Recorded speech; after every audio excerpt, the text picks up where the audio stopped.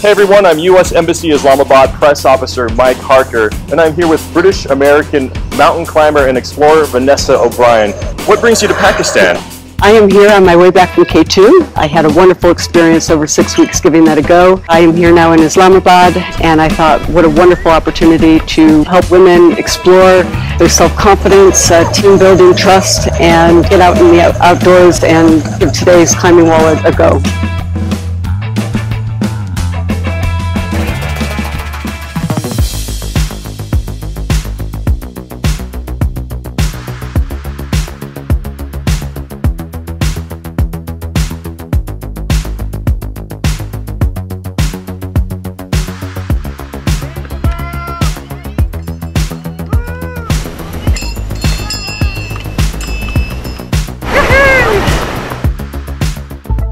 Was it? It was really nice. Awesome.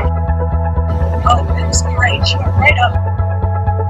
Wow, uh, amazing day. Worked up a sweat, um, got up on uh, three different climbing walls. Um, I learned so much from the girls. What's interesting is having no experience, they don't have a built-in fear factor because there's no expectations. That's wonderful, which really goes to show you that you can push boundaries, push limits, and try new things.